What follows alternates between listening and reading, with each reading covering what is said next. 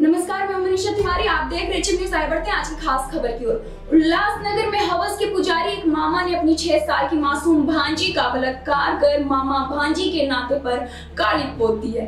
पीड़िता की माँ ने हैवान मामा के खिलाफ हील लाइन पुलिस थाने में रिपोर्ट दर्ज कराई है। फ़िलहाल आरोपी पुलिस के गिरफ्त में। बता दें कि बलात्कारी मामा और पीड़ित भांजी एक दूसरे के पड़ोसी हैं। आरोपी को दो लड़के हैं। उनके साथ खेलने के बहाने मामा भांजी को अपने घर बुलाकर उसके साथ घिनौनी हरकत कर रहा था।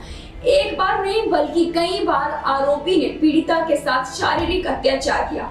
तीन दिनों पहले भांजी के बड़े भाई ने मामा को भांजी पर अत्याचार करते हुए देखा और माँ को इस बात की जानकारी दी, जिसके बाद पीड़िता की माँ ने हील लाइन पुलिस थाने में मामा के खिलाफ रिपोर्ट लिखवाई, जिसके बाद पीड़िता की माँ ने हील लाइन पुलिस थाने में मामा के खिलाफ रिपोर्ट लिखवाई।